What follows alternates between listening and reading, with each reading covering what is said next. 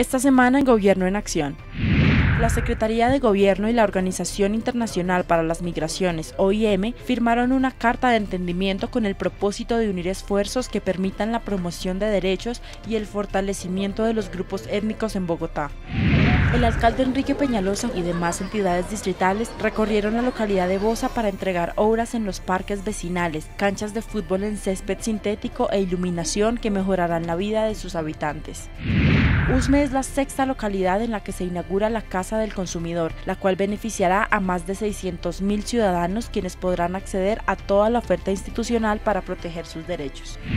La Secretaría de Gobierno, a través de la Subdirección de Asuntos de Libertad Religiosa y de Conciencia, dio inicio al ciclo de conversatorios que buscan aportar al propósito de la construcción de una paz estable y duradera. Para conocer las siguientes fechas, ingresa a www.gobiernobogotá.gov.co.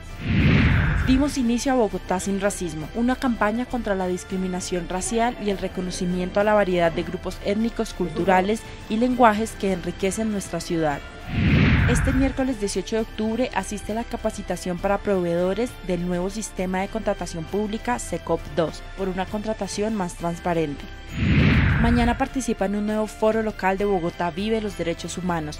La cita es en Barrios Unidos en el Colegio Rafael Bernal. Seguimos trabajando por una Bogotá mejor para todos.